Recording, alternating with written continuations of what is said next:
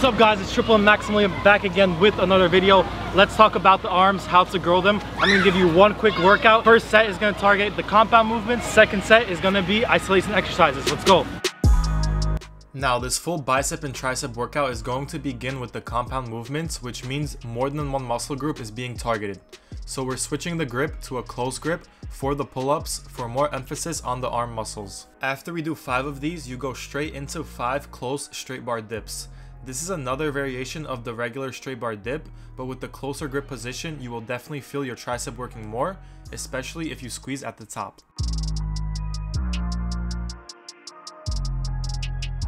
Now, these first compound movement sets are triple sets, so right after that dip set, you have 10 diamond push-ups, a classic push-up position that emphasizes more of your tricep in the pushing movement. Use full range of motion with proper form. Now after this first set, you're going to rest 45 seconds or nothing more than a minute. Now you're going to do 5 chest to bar chin-ups, which works on your explosive power, and when you're in the chin-up grip, you'll definitely feel your biceps more. Try to pull up as high as possible so the range of motion is maximized. On the last fifth rep, you're going to do a negative chin up, going down as slow as possible. You're going to take a breath and move on to the next exercise, which is 5 standard pull-ups into an isometric head hold under the bar. Try to keep your head touching the bar for the full 10 seconds.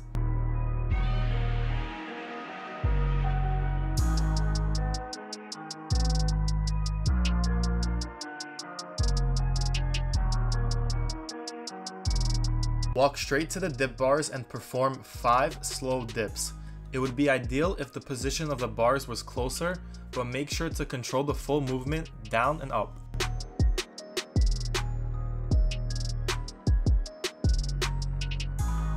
Once you're done with this exercise, you can rest, but no more than 60 seconds. Now we move on to the isolation exercises. Find a low standing bar where you can get into an elevated plank position, put your feet as far from the bar as possible, squeeze your core, grip the bar with a pronated grip, and bring the elbows down as if you were crushing your skull. Try to keep an overhand grip because it is taxing on the wrist, but for the triceps, it is one of the best calisthenics exercises for the isolation movements. If on a low bar it is too hard for you, then move up in the ladder position, so the higher up you go, the easier it is. Do 10 of these before moving on to the next exercise.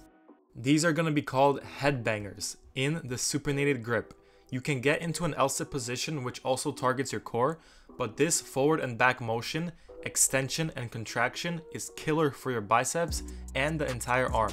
Do 10 of these, breathe, and then switch the grip. So now it's 10 headbangers in the pronated grip, either in the L-sit position or the regular position. This grip is going to emphasize more of your outer forearm and the brachialis muscles. We move down back to the floor to hold a hollow body diamond push-up hold for 20 seconds. Then move to 5 very slow diamond push-ups.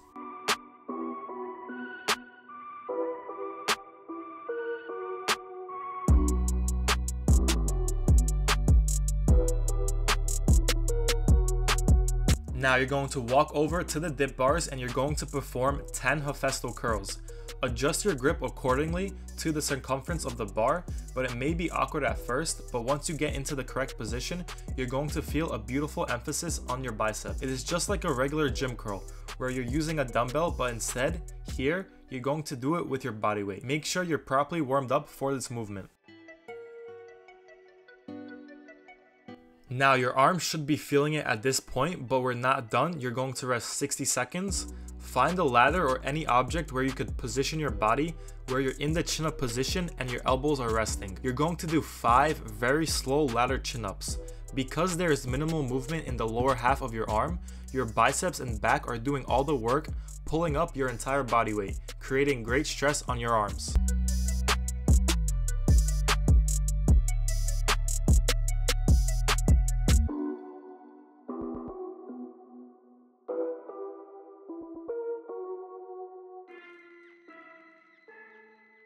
You're going to take minimal rest before moving on to the next isolation exercise. You're going to grab the heaviest band you have and perform tricep extensions just like you would at any gym, but here you're doing it with minimal equipment.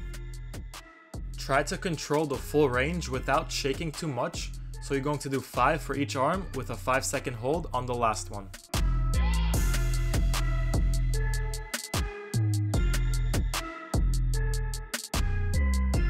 We move back down to the floor to finish off with our second to last exercise, which is tiger bends for the tricep. Keep the elbows in on the eccentric part of the movement, really squeezing your tricep on the top. After you do 5 of these, hold the diamond position for 5 seconds and now you're on to the last exercise. This is going to be a simple max out for the one arm dead hang hold. If you can't hang with one arm, hang as long as possible with both arms.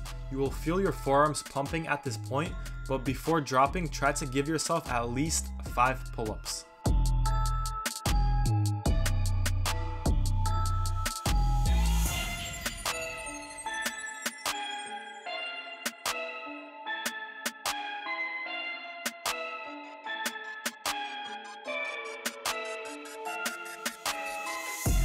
Now, your arms are probably going to be one of the most stubborn muscles to grow, especially in the calisthenics world. But if you do it right, doing the compound movements before, hitting the isolation exercises at the end, you're definitely going to see results. If you like this video, make sure to give it a thumbs up and subscribe to my channel. We're trying to hit 50k by the end of the summer. With that being said, I'll see you in the next video. Peace! I live inside my own world of make-believe Kids screaming in the cradles, profanities